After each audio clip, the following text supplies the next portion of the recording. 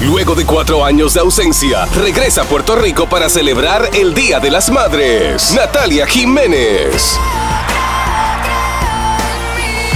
11 de mayo en el Coliseo de Puerto Rico. Boletos a la venta ya en Ticket Pop, cantando todos sus éxitos.